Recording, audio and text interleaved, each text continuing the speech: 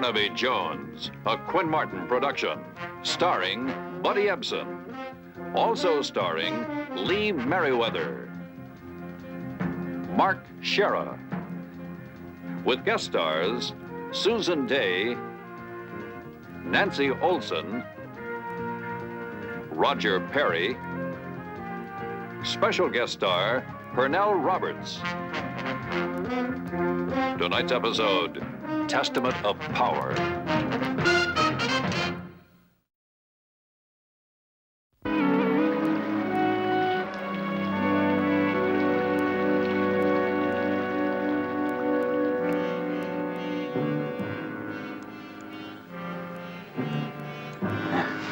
I went too far.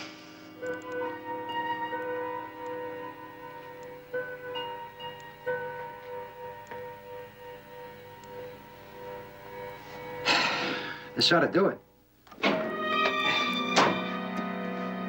Well, there we are.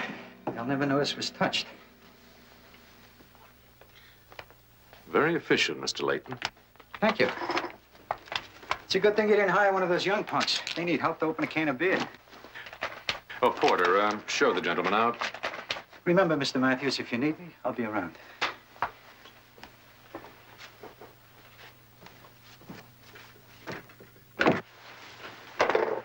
Matthews, did you have to hire an ex-convict? That was the best I could do on such short notice. Sorry he didn't have a college degree.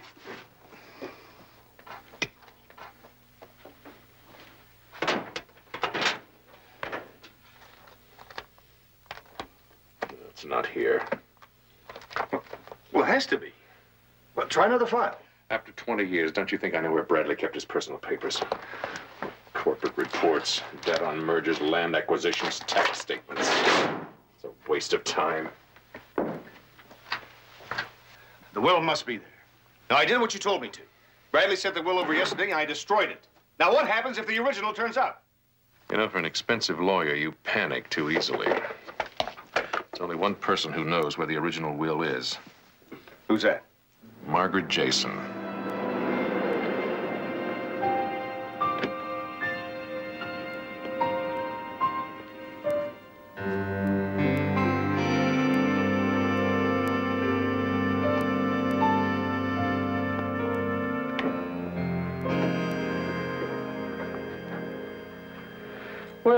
It's good to see you again after all these years, Margaret. You remember Glenn Ryan, uh, Mr. Bradley's lawyer?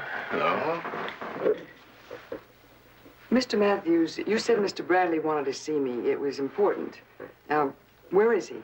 Well, there's something else we'd like to discuss with you first, Margaret. Uh, Richard Corwin Bradley's will. Why ask me about that? That's something you should discuss with Mr. Bradley. Is something the matter? I, I know he's been ill. rising a few degrees tomorrow with light smog in the basin. Recapping the hour's top story Richard Corwin Bradley, one of America's richest men, died tonight at the age of Oh, 52 no. aboard his private plane en route to London for medical treatment. Bradley, whose personal fortune has been estimated at $500 million, had no close relatives, and there's considerable speculation as to who will inherit. He was still so young. Such a wonderful man. Yes. I'm sure you had every reason to think so. According to the report uh, from our security men, you, uh, you saw a great deal of Mr. Bradley these past weeks. Yes, he, he knew he was ill. He just wanted to talk to an old friend. Very touching. Uh, how do you account for the time that he uh, spent at your secretarial agency Friday night? I don't see that's any of your business. We spent a few minutes at my office at the most. The report says two hours. Just enough time to uh, type up a new will, wouldn't you say?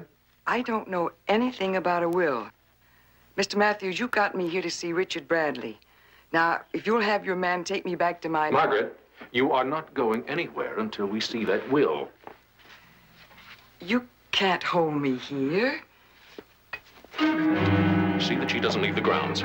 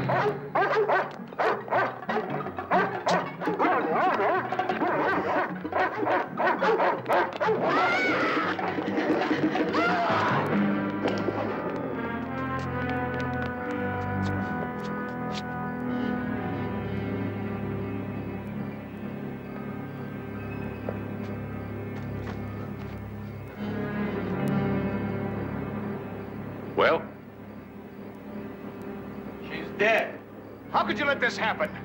Well, it was an accident. it was nobody's fault. She behaved very foolishly. Porter! Make sure the accident didn't happen here.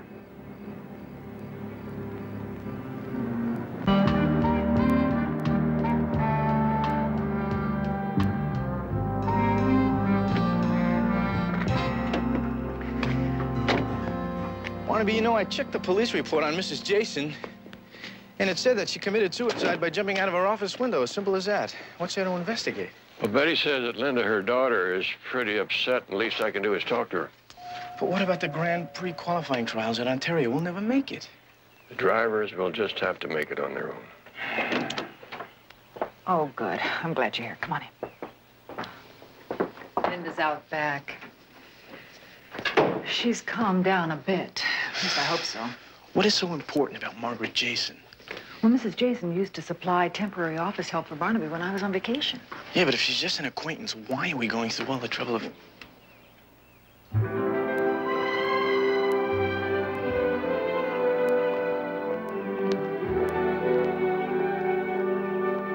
Thank you so much for coming, Mr. Jones. This is my associate, Jedediah Romano Jones. Hi, just call me JR. How do you do? Well, would you like to sit down? Thank you. I hate to bother you, Mr. Jones, but the police just won't listen to me. They think that I'm some kind of a silly, hysterical kid. Police are usually very sensible about things like that. On Sunday night, when I went over to my girlfriend's house to study, my mother was relaxing in the living room. She was wearing a robe. She didn't just go get dressed up and then walk over to the office building two hours later and kill herself for no reason. Honey, sometimes there are reasons we just can't see. If I could just find that man that she was seeing, he might know something. What man, Linda? About three weeks ago, my mother began receiving phone calls from a man. And when I answered the phone, he would not give me his name. And then no matter what time it was, she would just go rushing out to see him. Maybe she found somebody she liked. She was never serious about any other man. My father died about the same time that I was born. He was the only man that she ever talked about. Did you ever uh, ask your mother any questions about this man that kept calling up? Yes. But every time I brought it up, she either got nervous or she changed the subject. Did you ever get a look at him? No, but I tried. Last Friday, he drove up in the same black limousine, but he just sat in the back. He wouldn't get out. It was almost as if he was afraid to be seen. Well, that man could have killed my mother. Linda, isn't it possible that your mother could have fallen in love with a married man? Then maybe he tried to break it off. She became despondent. You knew my mother, Mr. Jones. She wouldn't kill herself. Oh, please, you've just gotta help me.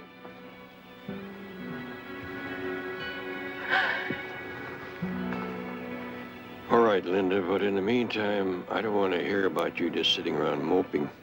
You know, this garden could stand a lot of work. Those glads over there are positively rickety. I know. I promised my mother that I would replant them. I haven't gotten around to it. I've always found a great deal of therapeutic value in puttering around the garden. Start puttering. Thank you. Thank you, Betty. Don't worry, darling. We'll be in touch. Day and night.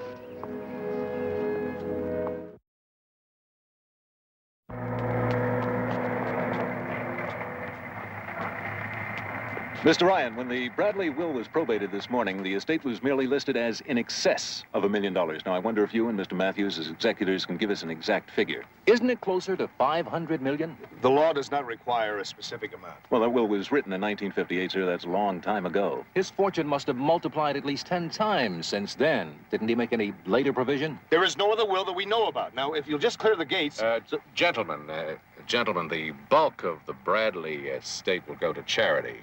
And since he was confident we would carry out his last wishes, there was no need for a later will. Well, didn't the judge raise that same point in court? And he accepted the same explanation, uh, with better grace, I might add. I hope that answers most of your questions. Uh, if you get out of the way, please. Uh, all right, let's go. Move on out. I think there's a question. that'll be all, gentlemen. Thank you.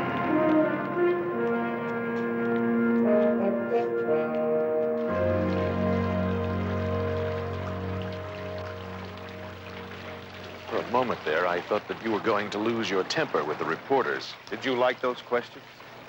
I've learned how to handle the press. You just convince them that you're telling them a lot, and you say nothing. Well, I wish I could take this as calmly as you are. I was the one who destroyed the copy of the will, remember? Well, not out of any favor to me. According to the old will, we are co-executors, and with the right bookkeeping, we should do very, very well. Not if the original turns up. Well, Margaret Jason typed the will last Friday, which means that she didn't have a chance to get to a bank or a safe deposit vault before her unfortunate suicide Sunday night. Well, then where is it? Well, give me a little time. I'll find it.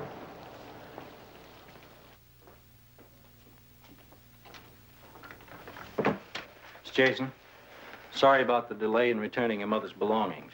Police procedure takes time. I understand.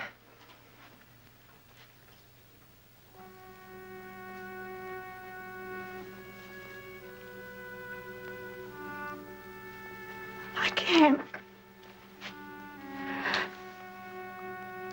Mr. Jones, I don't care what you want with them. I just can't.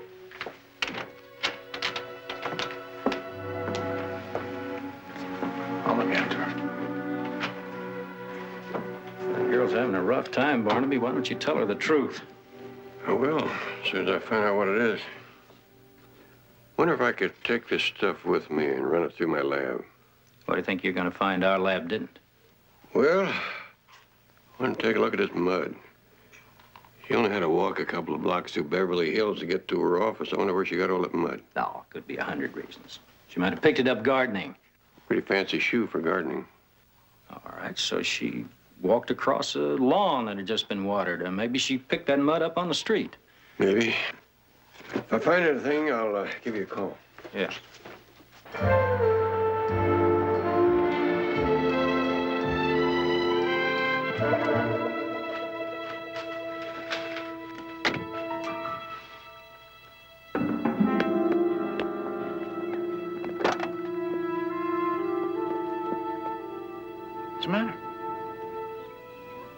Sorry I made such a scene.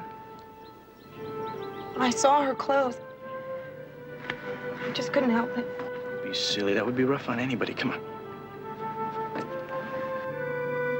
J.R., you're so sweet. Giving up your time like this. Well, it's part of the job. What I meant was thank you.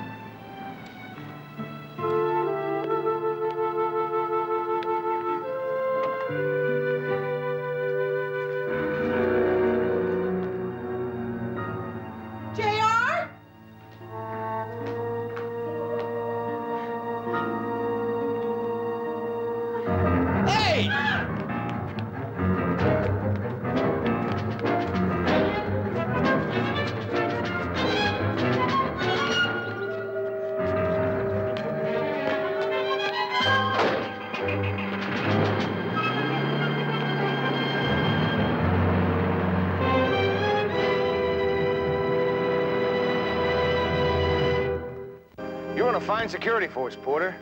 They're wonderfully inefficient. The men didn't have time to find the will. They covered the front rooms all right, but then the Jason girl came home with that young detective. Why don't we wait a few days, then I'll send the men over there again to finish the job. No, I, I have another way of handling it. In the meantime, have someone keep an eye on the house. Yes? Yes, yes, uh, of course, I remember you. Uh-huh. Oh, well, now, uh, 10,000 is a lot of money. Well, it seems reasonable for me not to speak to the authorities. I mean, somebody else would hold you up. Oh, now you have nothing to tell the authorities, Mr. Layton. Uh, I think they'd be real interested. Richard Corwin, Bradley's right-hand man, and his attorney hire a safecracker to open the Bradley vault before the body's even cold? Couldn't wait a couple extra days to open it legal. Well, now, there were business reasons for that. Oh, sure, sure. That's why you hired me, an ex-con. You think anybody would believe you? You want to bet they give me immunity? Look, Mr. Matthews, you're wasting my time. Unless you want me to shoot my face off, huh? All right. Where do you want me to take the money? Well, just to make sure there's no setup, I'll uh, call Mr. Ryan on the phone and tell him where to bring the money, all right? All right. I'll uh, contact Mr. Ryan. Are you crazy? Paying blackmail to an ex-convict? You know he's not going to stop at 10,000. We have no other choice, unless you prefer prison. Well, I'm not an errand boy. You deliver the money. Oh, no. He asked for you. You heard him.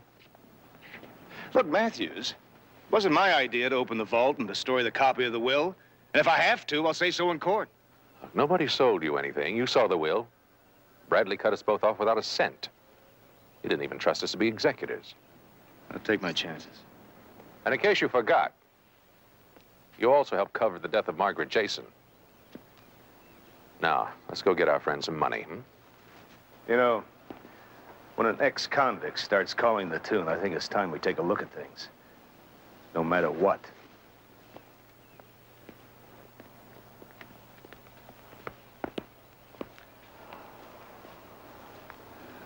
Mr. Ryan is going to deliver some money to Harry Layton. Take care of Layton, and, uh, see if Mr. Ryan is taken care of, too.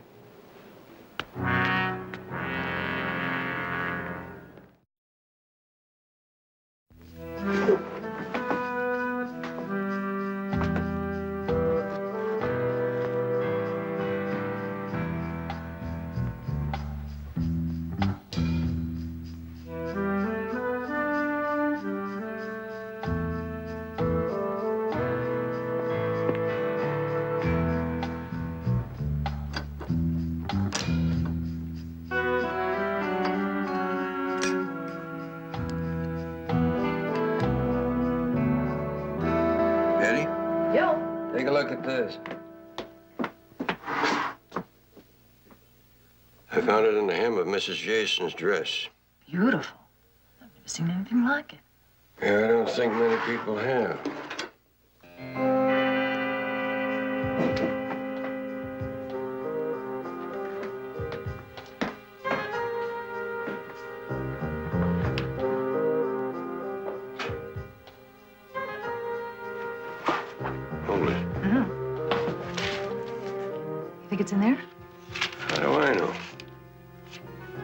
Time. You sound like a client.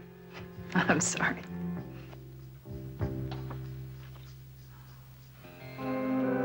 Could be it. I don't think I can pronounce that name. Stymophyllon affine? A vine grown in the jungles of Brazil and the West Indies. Banned for importation into the United States. But I don't know how Margaret Jason could have caught a petal from a flower like this in her dress uh, walking down the street in Beverly Hills unless she went by way of Brazil. Barnaby, how about this? Suppose she died someplace else. And then was taken to her office building and made to look as if she had jumped there.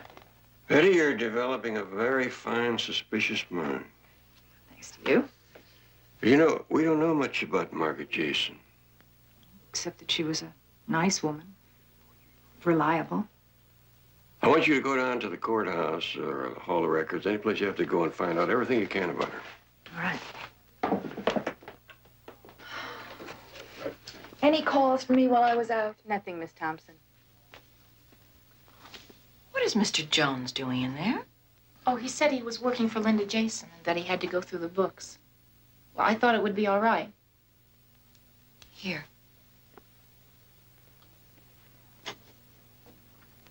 Jones, may I help you? Miss Thelma, I don't want to step on anybody's toes, but there are certain things that I had to find out about Mrs. Jason since Linda asked me to look into her mother's death. Poor Margaret. I suppose I was her very best friend. But I don't understand what that has to do with the agency's books. And I don't understand how she could maintain such a big house in Beverly Hills with uh, such a small agency. Well, things are a, a bit slow right now, but we do very well, and we have a very fine reputation. There's a check here. Kenray Corporation for $3,000 signed by uh, Glendon P. Ryan. Oh, yes. I haven't had a chance to deposit these checks since Margaret's death. If I remember correctly, uh, he is one of the executors of the Bradley estate along with a fellow named Matthews. He had a lot of other clients as well, big Hollywood stars. But I, I don't understand what you're getting at.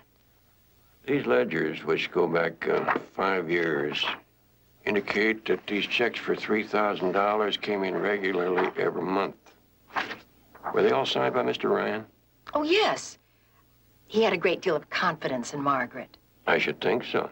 It's a lot of money for secretarial work, uh, part-time. Well, I, I always thought that they had some special arrangement.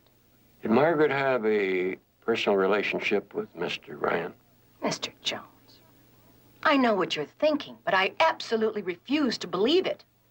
Margaret Jason was a wonderful woman. Her personal life was absolutely impeccable. If you want to start some horrible rumor, I... Thelma, I'm not trying to hurt Margaret. I'm trying to help her daughter.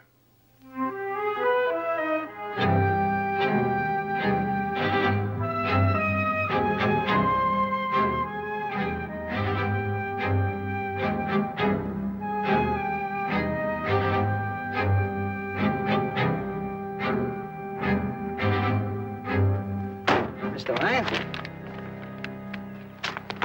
It's the last payment. Sure, sure. Wait a minute, let me check this out. It's the whole 10000 I don't want to waste my time with you.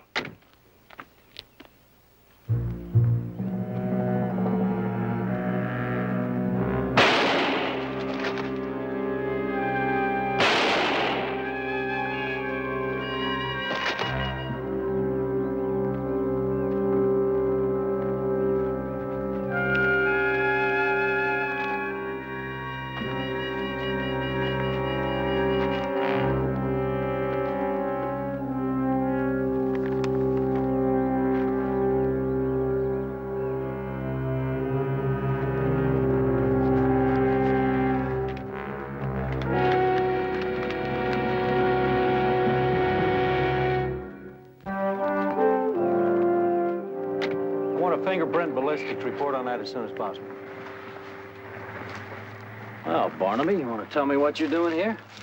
I've been trying to get a word with Glenn Ryan. Last time I called the secretary, she said she had just heard about this. What's your interest in Ryan? I thought you were working on the Jason suicide case. I am, but I got a couple of questions I want to ask Ryan. Too bad a mugging got in your way. Mugging? For the moment, that's what I'm calling it. See, Layton had a record a mile long. Now, he could have lured Ryan up here, tried to rob him. They struggled for the gun. Layton got shot, but he managed to kill Ryan, then he collapsed. Yeah, that's one theory, but uh, what do you really think? Well, Layton served time, all right, but it was for safe cracking, not armed robbery. But why pick on Ryan? Prominent attorney, he managed the Bradley estate. Layton must have told him a pretty good story to get him up here to be mugged. There's got to be some connection between them. You got any ideas? No, but uh, when I do, I'll communicate with you.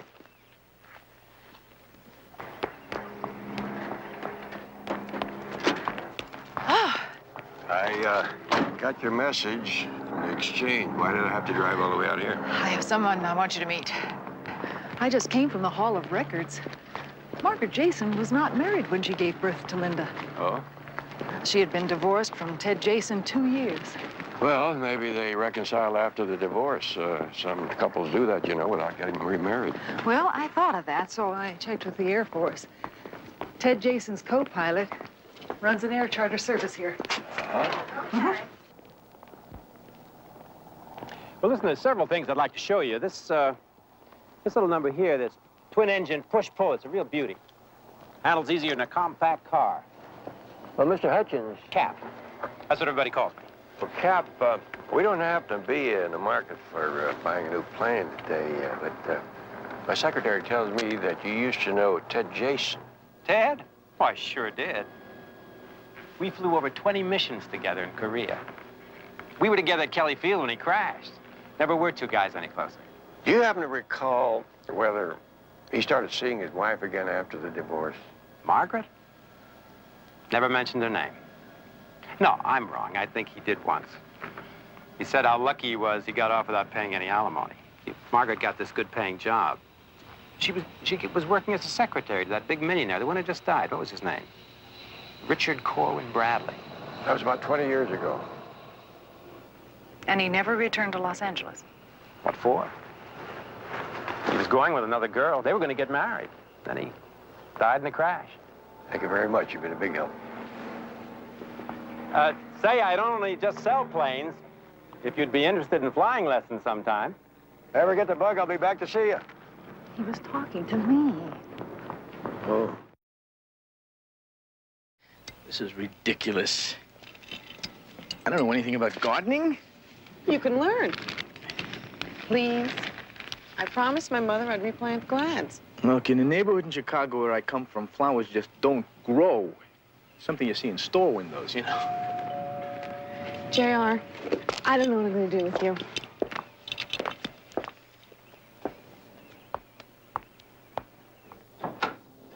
Linda! Thelma. I'm so glad you're home. I've been sitting at my office worrying about you. Thelma, you're such a dear. You're so pale and so drawn. I should have been checking up on you long ago. oh, I didn't realize you had company. Yeah. Come on. Thelma Thompson, this is J.R. Jones. Hi, how are you? Hello. Thelma was my mother's closest friend. She practically ran the secretarial service. And as far as I'm concerned, you can keep on running it for as long as you want. Oh, thank you, dear. Well, I'm sorry. I, I didn't mean to barge in on anything. Don't be silly. J.R. is a relative of Mr. Jones. He's also his associate. I've asked them to investigate Mom's death. Oh, so I understand. Uh, Mr. Jones was in the office this afternoon, poking around things. Linda, are you sure you're doing the right thing? Positive. There have been a lot of strange things going on. Earlier today, two men broke into the house. Well, they were searching for something when J.R. and I surprised them. Oh, no! But you can't possibly stay here while things like that are going on. Why don't you come to my house? Stay with me a few days. I really couldn't do that. It's okay. Uh, I'll keep an eye on it. But what about at night? I, I mean, you, you shouldn't be alone. Oh, I'm sorry. There I go again, putting my foot in it. It's okay. I was going to stay on the couch anyway. Well, I was just thinking about appearances. Um, Linda, look, I've offered to do what I can, but uh, if you would prefer. Maybe Thelma's right. You've done more than enough already. All right, all right, if it'll make you feel better. Look, why don't I toss a few things in a bag and come right back here? That way you wouldn't have to close up anything. It would be no trouble. Well, if it wouldn't be too much of a bother. I'll be back in no time. Thank you. Goodbye.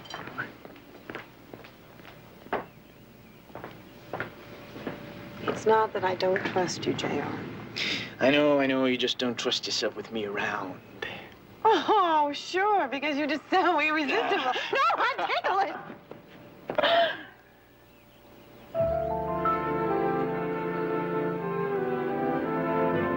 Come on. Help me fix up the guest room. For Thelma. And nothing's too good for good old Thelma.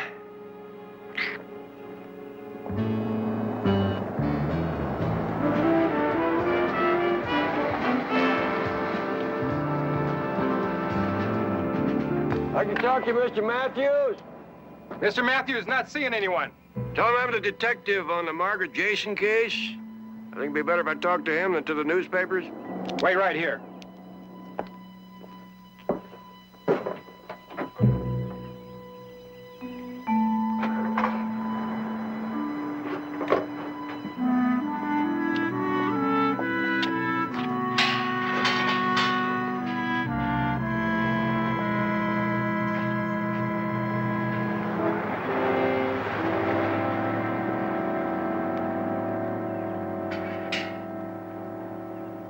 I don't know what to tell you. Um, Mrs. Jason was his personal secretary, but it was so long ago, we uh, lost track of her. Margaret Jason was receiving these checks for $3,000 a month until the day she died. It's not possible. They were all drawn on the Ken Ray Corporation. According to the Commissioner of Corporations, that's a uh, wholly owned Bradley company. Well, those checks never came to my attention. They were all signed by the attorney for the corporation, Glenn Ryan. Unfortunately, I was unable to speak with Mr. Ryan. Yes, poor Glenn. It doesn't seem possible. I never knew much about Glenn Ryan's personal life. So I uh, suppose it's possible that he had been having an affair with Mrs. Jason and uh, using corporate funds to pay her off. According to the bank records, uh, went on over 19 years. Now, Mr. Bradley was one of the world's shrewdest businessmen. Suppose this fact could have escaped him? well, now, uh, Mr. Bradley had many interests. Isn't it possible these payments were made for Mr. Bradley himself? That's ridiculous. What for? Well, uh, maybe he was having an affair with Margaret Jason. Richard Corwin Bradley did not have casual affairs with secretaries. I didn't say casual. 19 years, that comes to a lot of money. Mr. Jones, if Glenn Ryan was dishonest, that's unfortunate. I have nothing more to tell you. Thank you. I'll find my way out over the drawbridge.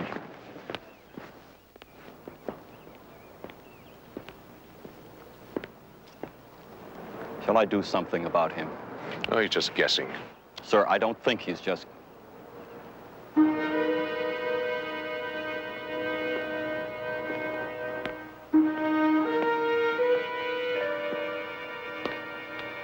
Mr. Matthews.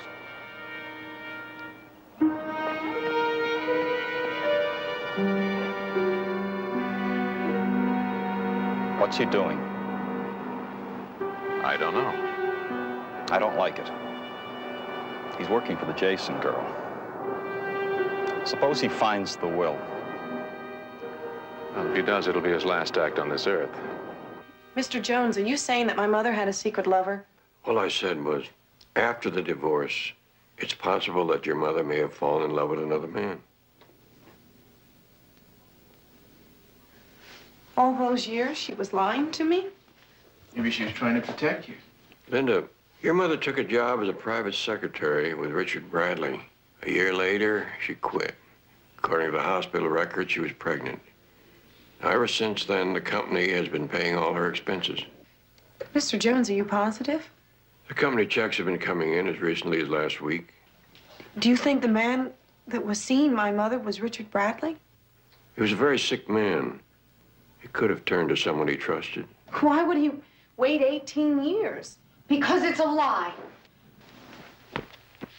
How can you tell her things like that?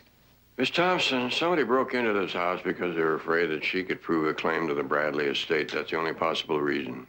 I worked with Margaret for over 10 years. We had no secrets. And I never once heard her mention the name of Richard Bradley.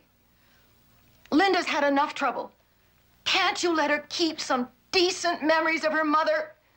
Mr. Jones, I think it'd be better if you would leave. Linda, you hired us to help you. JR, please. Very well. Linda, your mother was a wonderful human being. You mustn't listen to stories like that. But why would Mr. Jones want to lie to me? I don't know. Maybe he's after some quick money in, in some nuisance suit against the Bradley estate. All I know is that I can't bear to hear those terrible things said about your mother. Oh, Thelma, please don't get upset. I can't help it. I better go and make some dinner. Oh, Linda, I'm so sorry you had to listen to all that.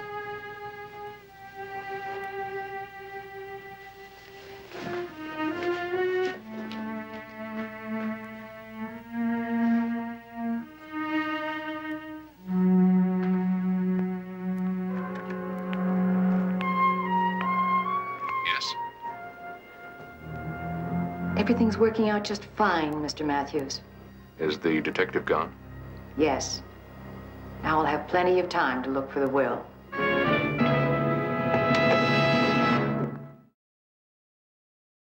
Oh, it's gorgeous, isn't Oh, I wish I could find someone like that. Friday night. I'm so excited. Look at Is, it. uh, Miss Thompson in? No, she. We haven't seen her all day today. Well, uh, we have to check something in Mrs. Jason's office. Please, Mr. Jones, I got into such trouble last time. Oh, it's okay. Uh, Barnaby squared everything away with, with, um, with Miss Thompson. Okay. Check the tape recorder. Barnaby, you really think we're going to find a will here? Margaret was up here typing for two hours. If that was Bradley with her, I doubt if he was dictating personal correspondence. Tape recorder's no good. There's no cassette. Let me check the file. This thing is too worn to read.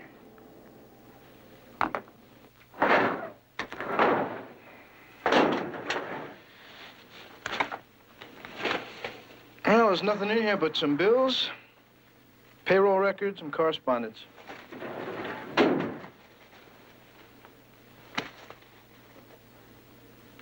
Hey, listen to this. This document supersedes all previous wills. Down here, I leave to my dear friend Margaret Jason and my hitherto unacknowledged daughter. Linda's Bradley's daughter. This is a proof. We gotta get that will. Call Linda. Right.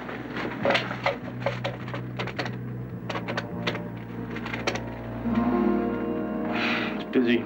I searched all the rear rooms. There's no trace of the will. Well, you'll have to go through the house again. I know it has to be there. Now, Is the girl around? Well, I, I might have a little time. She's working in the garden.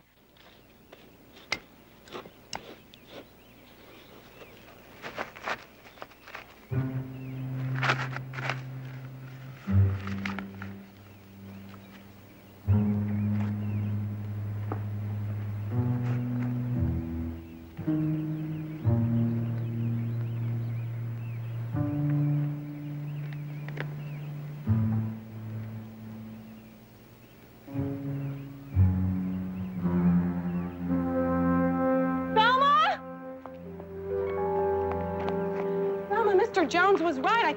I, I found this when I was replaying the Glads. Well, what is it? Richard Bradley's will. I'll just read you the important part.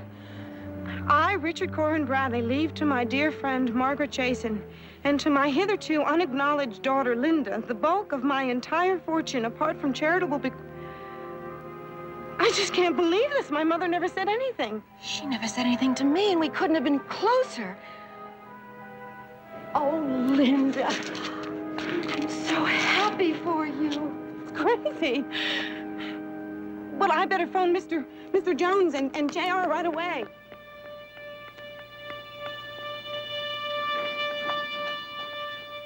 Oh, Linda, don't track that garden dirt all over the house. Go ahead and change. I'll call Mr. Jones. I really am a mess. Well, tell him to hurry.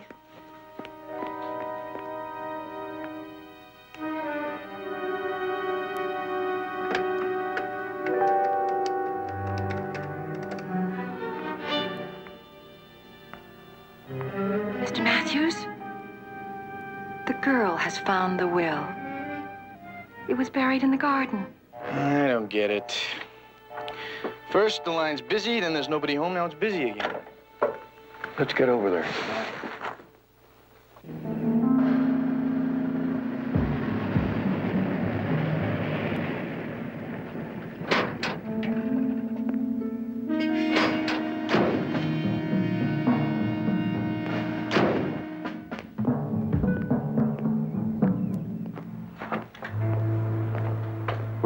She's in the bedroom.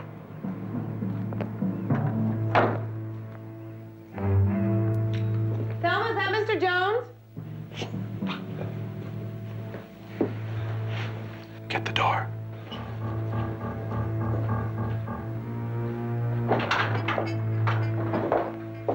Oh, I thought that it was... Miss Jason, would you give me the will, please? Thelma, what is this? Give Mr. Matthews the will. Miss Jason, we don't want to hurt you.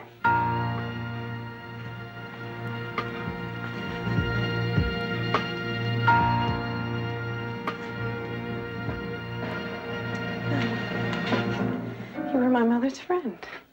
I'm sorry, but it won't be convenient for you to be around. No!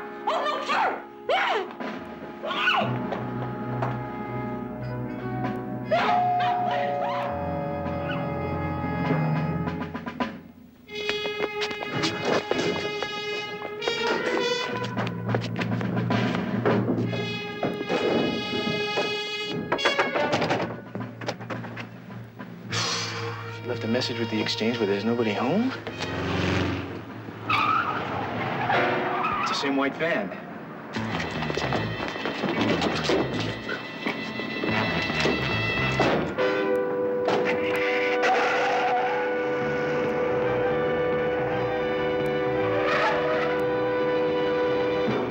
We are being followed. Lose him.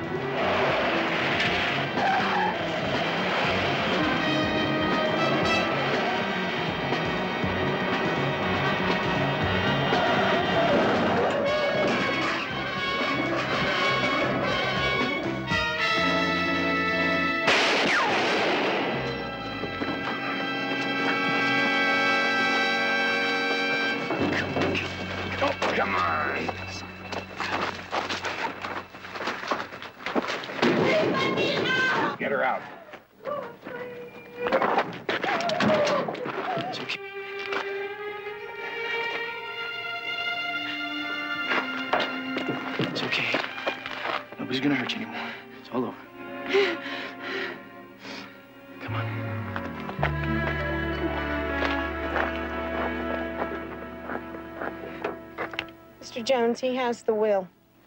I think I better file this. Linda, it is absolutely beautiful. If only my mother... Hey, hey, you sure you're not gonna get lost in all these rooms now, huh? It is awfully big, isn't it?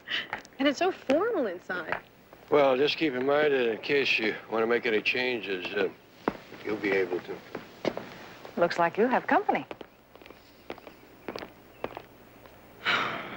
I'm sorry. I wanted to spend the afternoon with you, but the lawyers are here to discuss the probate. Well, we'll do it another time. Is that a promise? Sure. Okay.